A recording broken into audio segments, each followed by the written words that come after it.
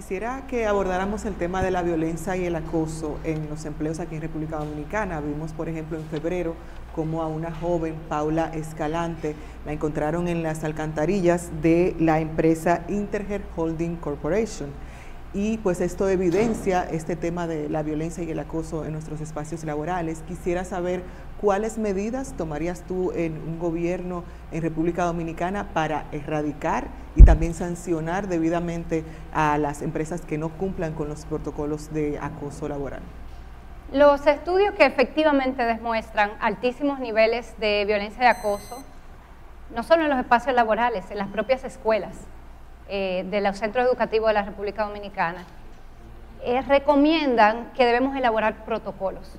Protocolos de, para identificar, eh, para saber cómo lidiar en esos casos y para sancionarlos. Entonces, ese también es parte de nuestro compromiso. Todas las instituciones del Estado y eventualmente todas las instituciones privadas también deben tener protocolos contra la discriminación, contra el acoso, contra la violencia, porque lo que tenemos que hacer es un cambio cultural.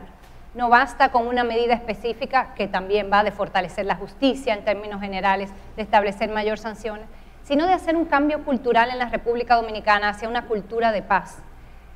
Nosotros venimos de una herencia colonial, de esclavización, de esclavitud, y luego regímenes autoritarios, ocupaciones militares.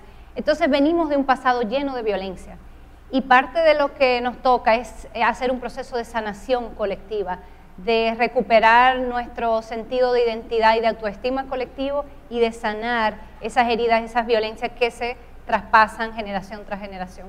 Y por eso también en la reforma profunda del sistema educativo que estamos planteando, incluimos el componente de educación emocional, educación para aprender a gestionar eh, los problemas no a través de la violencia, sino a través del diálogo, educación para saber reconocer las emociones y lidiar con ellas de manera sana eh, y solamente ese trabajo eh, de transformación cultural que empiece desde la socialización de los niños, la juventud, es lo que nos va a permitir eh, transformar el tejido social y construir una sociedad mucho menos violenta, que sea una sociedad de paz.